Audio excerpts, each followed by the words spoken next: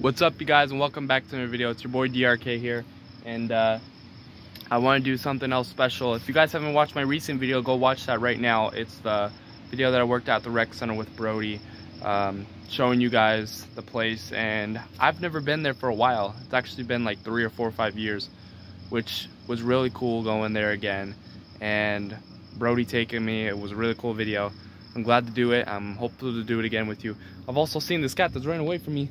Uh, Kitty, Kitty, can, can we get a response right now? No? No, we can't? Oh. Well, we'll only get that. I, yeah, well, this cat, this cat, yeah. This cat knows what's up. It's following me. Kitty, what do you think, buddy? Should we go down that hill of the title of the video? No? Yeah? What do you think? You guys can't really see it, but uh, so yeah, we're gonna decide to go down by a hill that uh, we're gonna be doing in the dark because why not? And uh, it's spooky in the dark, so we're gonna pump out another video because why not? It's cool. Have you guys ever tried this ice cereal, which is really new?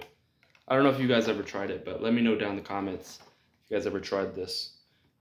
This is a weird type of cereal, but um, I said, okay, why not try it? It's actually really good. I'll try it in a like taste review video for you guys. What's up, you guys? And uh, I'm on the bike and I'm going down a freakish hill. That's what the title of this video is called. Freakish hill. not trying to die.